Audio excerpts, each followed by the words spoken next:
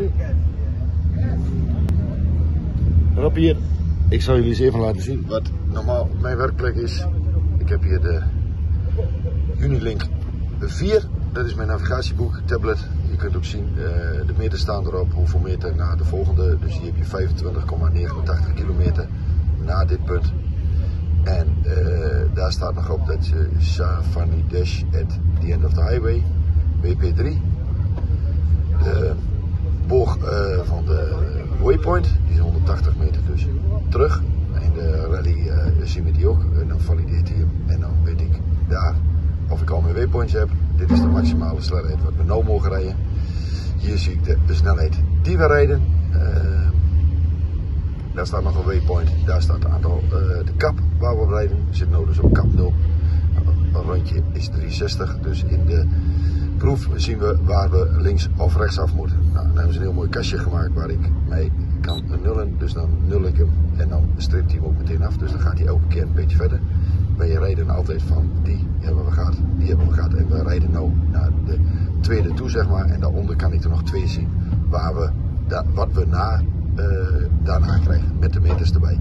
En welke opmerkingen zo ze hebben en wat we precies moeten doen.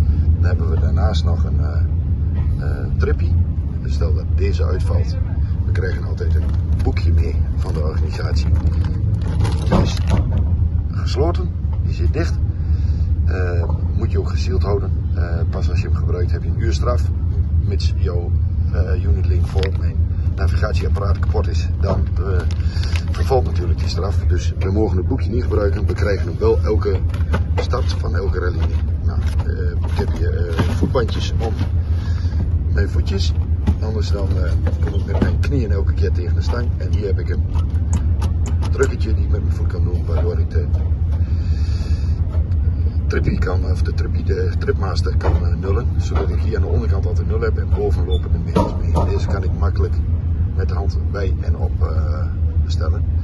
Dan heb je hier de uh, trip mode. Dan kan ik ook nog snel weer wat aanpassen. En dan oké en dan zet hij weer op nul. En zo heb je verschillende functies in je afstandsbediening. Waardoor je je tripmaster kunt bedienen. Nou, dan heb je hier nog verschillende dingen. De code, elke dag krijgen we nieuwe code. Die voeren we hierin. En door middel van die code weet mijn tripmaster welke proef ik heb. We, we krijgen, we hebben en dan kunnen we dit scrollen. En daarnaast kan ik nog easy mode dat hij bepaalde dingen touchscreen. Het is ook een touchscreen. Dus je kunt ook zien dat door middel van de touchscreen kan ik hem bedienen. Het laatste kastje waar we een beetje acht op moeten geven, dat is kastje van de organisatie. Je ziet nou uh, uh, answer, dan doen we oké. Okay. We zien escape, dat gaan we maar niet doen.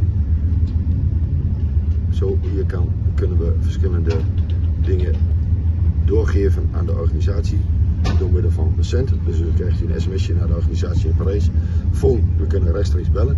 Als wat is, dat, schijnt, dat kan ook terug. Dus de organisatie kan ons ook bellen van, hey, jongens, uh, er staat iemand die heeft hulp nodig, jullie moeten er naartoe.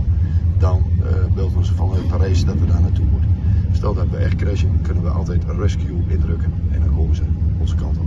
Dus dit is de Erie Track. Ook hier krijg je, als je s'avonds na 7 uur nog in de duinen zit, uh, waypoints of een code die we weer bij de Unitlink voorin kunnen voeren, waardoor je makkelijker de duin uit kunt uh, en je weer in de bivak komt. Heb je wel straftijd, maar dat uh, is een noodoplossing. Dus dit is een beetje de werkplek wat ik zo al heb.